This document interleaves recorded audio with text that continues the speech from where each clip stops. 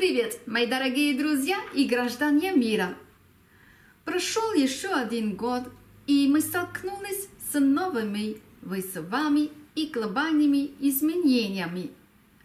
Вопрос в том, как мы хотим жить в будущем. Должен ли термин «экономический рост» действительно определять нашу жизнь? Являемся ли мы жертвами международных зон свободной торговли и гонки потребления? Я говорю, думайте глобально, покупайте регионально.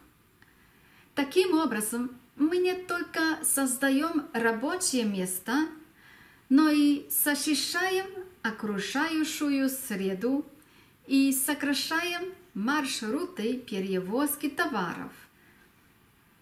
Сверхпроизводство продуктов питания в спекулятивных целях является преступлением против человечества.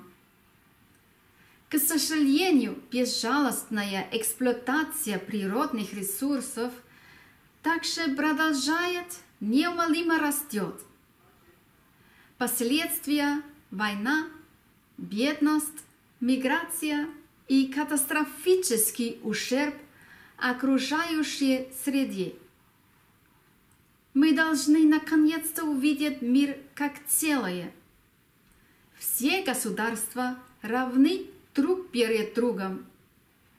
Мы все на первом месте, независимо от того, в какой стране мы живем.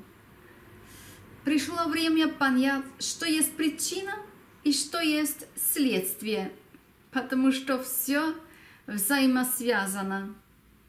Я желаю вам мирного и счастливого 2020 года.